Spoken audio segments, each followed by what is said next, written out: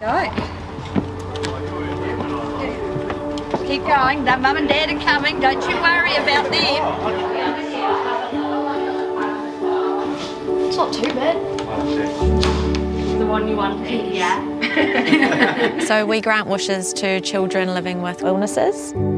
Both Zac and Hunter are huge motocross fans. We reached out to Yamaha. We worked with Dinesh and the Yamaha team to design the wishes.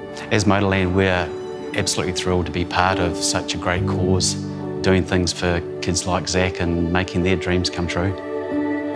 been there through Zac's journey, the joy that you brought to him, and um, he's come out on top. These are the ones I hate the most Why? because of what I had to go through to get them.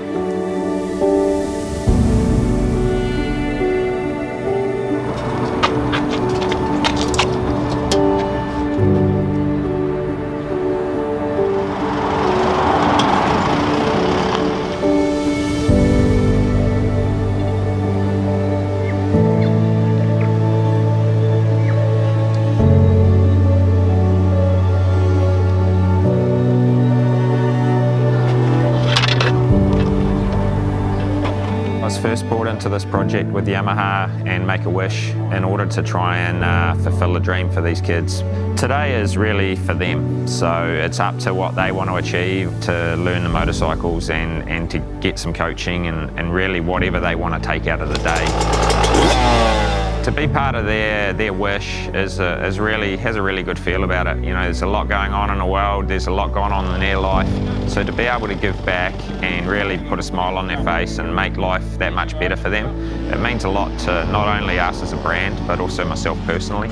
And you know, we, uh, we get to do a lot of cool things as part of the Blue Crew brand, but this is definitely right up there. smooth throttle, smooth jump. And then exit the corner, shift up, accelerate through the rev range better.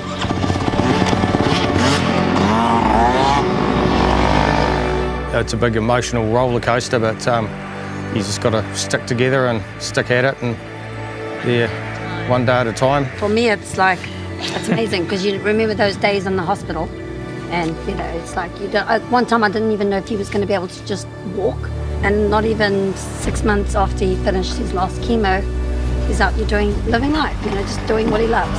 It is a tough journey, and it's not. It wasn't an easy journey, and um, we're blessed to still have our son, Yeah. and that he's a survivor.